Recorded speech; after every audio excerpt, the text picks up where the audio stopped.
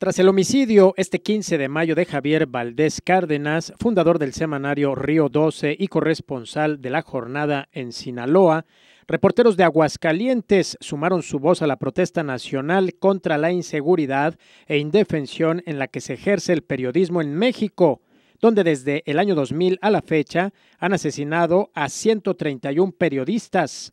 En presencia del gremio periodístico reunido en la Plaza Patria, Claudio Jauro, periodista de Aguascalientes, argumentó que sin la menor pizca de temor, pero sí con la indignación desbordada en las almas de aquellos que comparten con él, haciendo referencia a Javier Valdés, su pasión por el periodismo, hacemos un paro de labores repudiando al unísono y en todo el país la pérdida de un baluarte del oficio, pero sobre todo de un gran ser humano. En el piso, alrededor de la silueta de un cuerpo inerte marcado con tiza, se colocaron carteles en protesta con las frases No queremos más represión, libertad de expresión, ni uno más, y no se mata la verdad matando periodistas.